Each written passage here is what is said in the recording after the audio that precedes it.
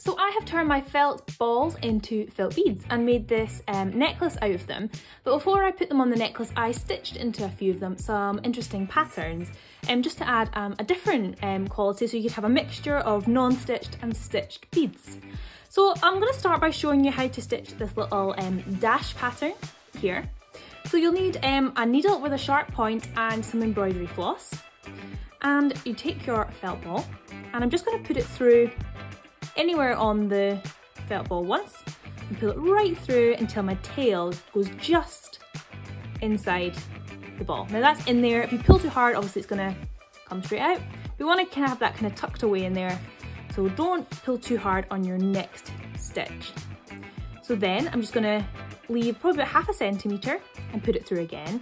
And then bring my needle out and where I want my next dash to be.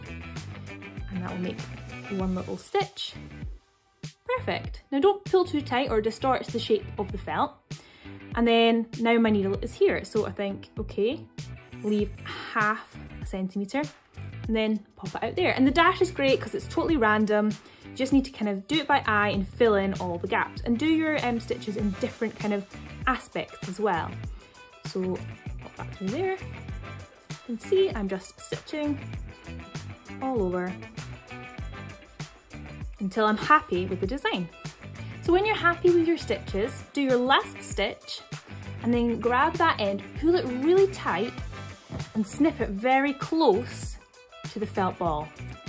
Then hopefully that wee end will just disappear inside of your felt and you'll have no threads hanging off at all.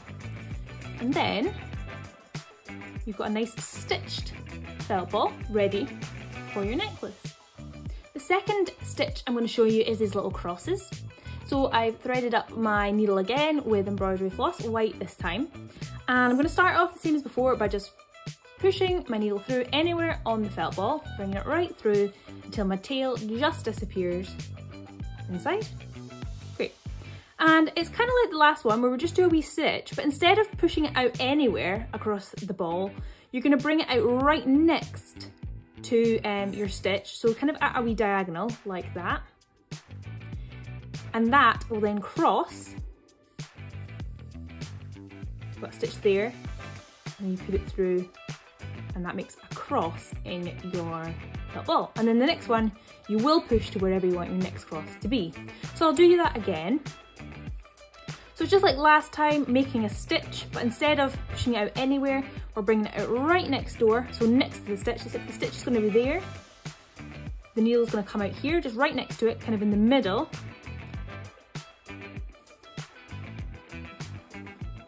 And then it's going to cross and go wherever the next stitch is going to be.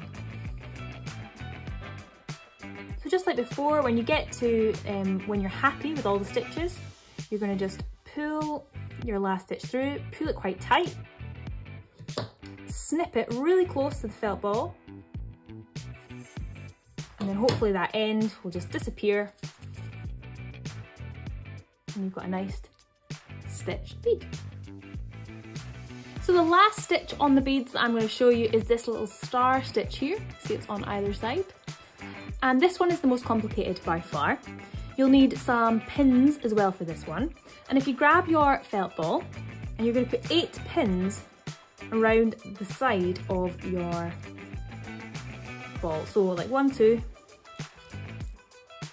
three, four. Make sure that they're kind of similar um, around the side. Then five, six, seven, eight. So this just keeps you right where you're stitching. And then if you've got your needle with embroidery floss and you're gonna bring it straight through the middle here. So in the middle of the kind of star. And let your tail disappear, like before. And we're gonna stitch down to each of these pins in turn. So I'll go to this pin and then I'm bringing it straight back up to that center point there.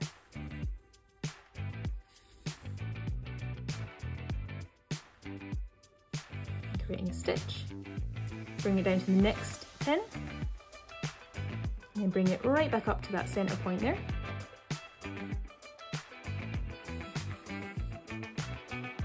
And this is creating little segments. Go down to the next pin, and just work your way around, bringing it up to that center point each time.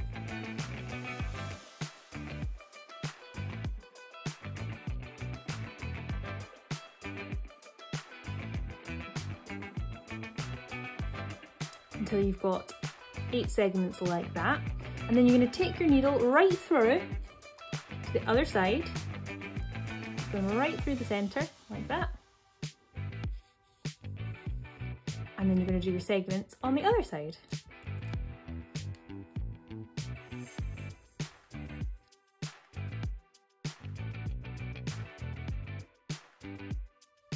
And once you've done your eight segments on that side, You'll take your needle through to the other side again, straight through the middle. Feel it quite tight, snip it off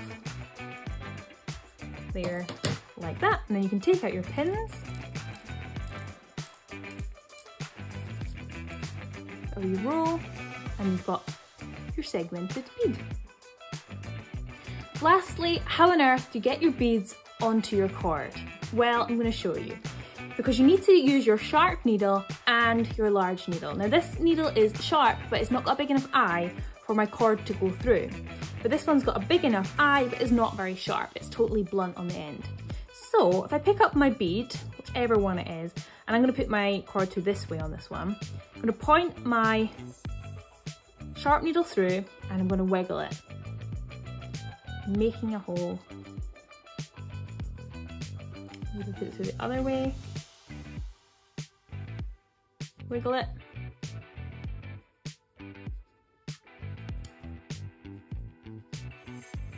And then if you take your fat needle and pop it through,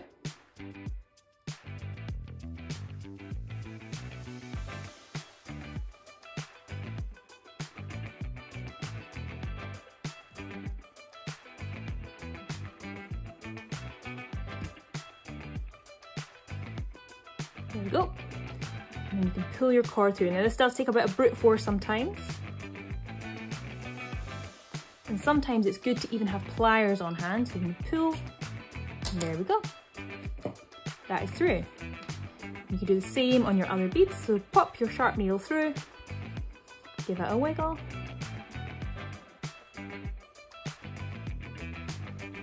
The other way, give it a wiggle.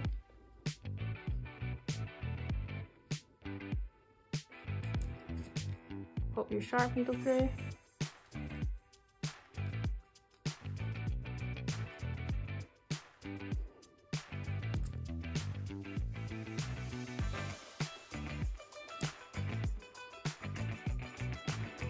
There we go, there's my blunt needle through. Grab your pliers if you have some or just use brute force. Pull that through. And there's your beads.